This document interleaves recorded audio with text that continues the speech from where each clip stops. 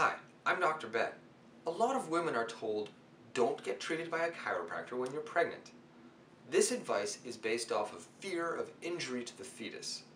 As it stands in 2011, there is no evidence suggesting any harm to the fetus during a chiropractic treatment. The main problem with this advice is that the majority of women do suffer from joint pain and muscular pain during pregnancy. This is mainly due to a hormone called relaxin, which is produced in high amounts during pregnancy.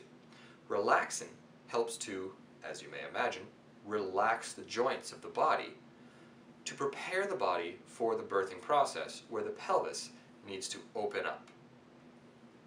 Now, the main problem with relaxin is that it doesn't only work on the pelvis. It works on every single joint in the body. It helps all these joints to relax by lengthening the ligaments surrounding the joints.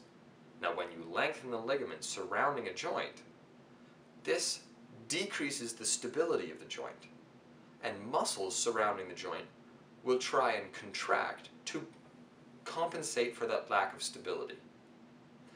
This can lead to muscular spasm and significant pain. There are several key changes during pregnancy that lead to both joint and muscular pain. The main one is the growth of the fetus. This puts a significant new weight in front of the lumbar spine, or the low back, pulling it into a deep curve.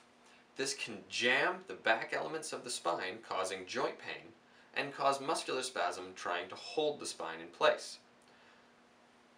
Later in pregnancy, when milk production starts, the breasts will get heavier, pulling shoulders forward and causing a steeper curve in the neck, both of which cause joint pain and muscular spasm to provide stability.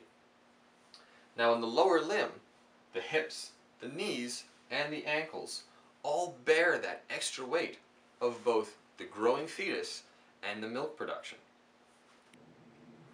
Chiropractors are extremely effective at treating both joint and muscular pain.